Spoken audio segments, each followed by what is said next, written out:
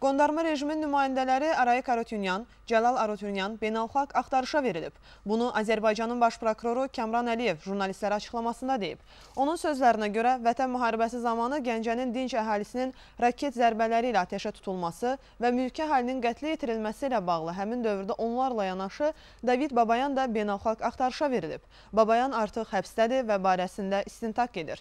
Kəmran Əliyev əlavə edib ki, Azərbaycana qarşı cinayətlər törədən erməni separatçılarının həbs həbs olunması prosesi son zamanlar sürətlənib.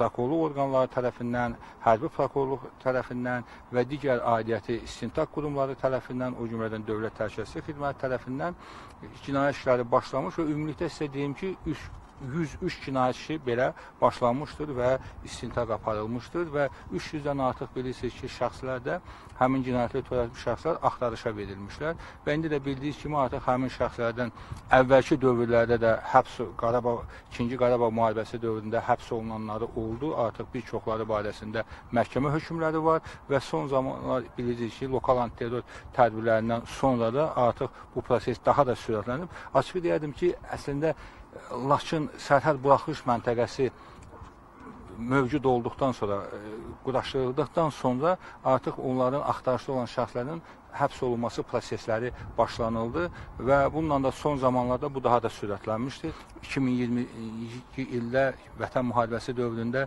Gəncənin dinc əhalisinin raket zərbələrinə e, deməli tutulması və mülki əhalinin qətlə yetirilməsi, günahsız insanların, uşaqların, qadınların və bu işlərlə bağlı həmin dövrdə David Babayan tərəfimizdən ə, Arayik Arutunyan, David Babayan və Cəlal Arutunyan həm üç şəxs axtarışa verilmişlər. İndi onlardan artıq biri bilirsiniz ki, artıq istifadə həbsdədir və barəsində istintaq gedir. Birinci Qarabağ müharibəsində itkin düşən şəxslərin müəyyən edilməsi prosesi də sürətlənib. Baş prokuror bildirib ki, təəssüf ki, Ermənistan tərəfi nə mina xəritələri, nə də məzarlıqlarla bağlı xəritələr barədə dəqiq məlumat vermir.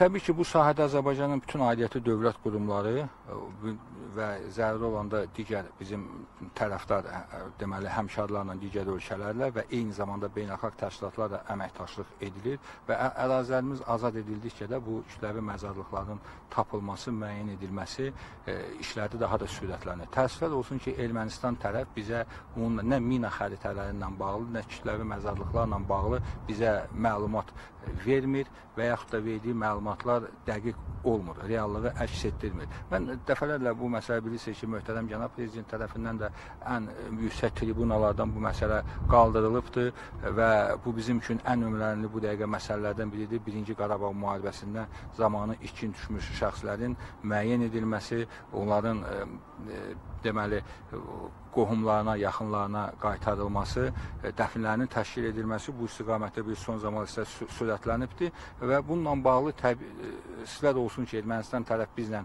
əməkdaşlıq etməsə də biz bu işləri zaman-zaman artıq həllini tapırıq.